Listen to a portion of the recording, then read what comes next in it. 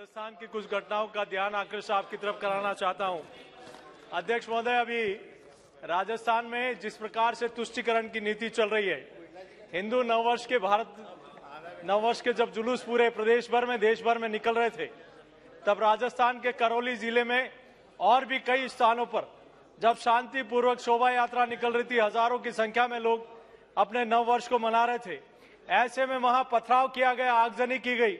दुकानों में आग लगा दी गई और इतना ही नहीं करौली नहीं राजस्थान के अनेक स्थानों पर जानबूझकर इस प्रकार के उपद्रवी असामाजिक तत्वों ने शांतिपूर्वक निकल रहे जुलूस के ऊपर पथराव किया गया।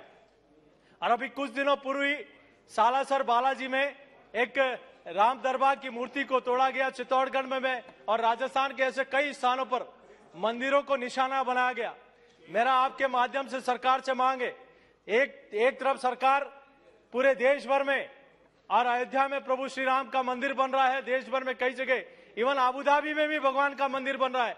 लेकिन राजस्थान की सरकार जानबूझकर धार्मिक स्थानों को तोड़ने का और निशाना बनाने के काम कर रही है। इवन उनका जो प्रशासन है, शासन है वहाँ बहन, बेटियाँ, रात को शाम को निकल नहीं सकती। बेटियों के साथ अत्याचार, दुराचार होता है। वो पुलिस के साथ न्याय मांगने साथी जाती है तो पुलिस का अधिकारी उसके ऊपर अत्याचार करता है। वो हॉस्पिटल में जाती है तो हॉस्पिटल में बलात्कार करता है। वो एंबुलेंस में जाती है तो एंबुलेंस में हमारी बहनों का, बच्चों का बलात्कार होता है। कहीं भी वो अबला सुरक्षित नहीं है।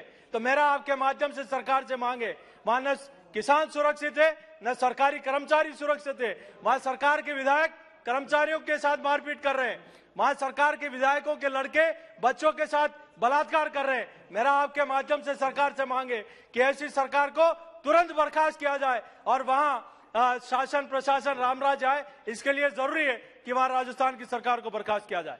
बहुत बहुत धन्यवाद।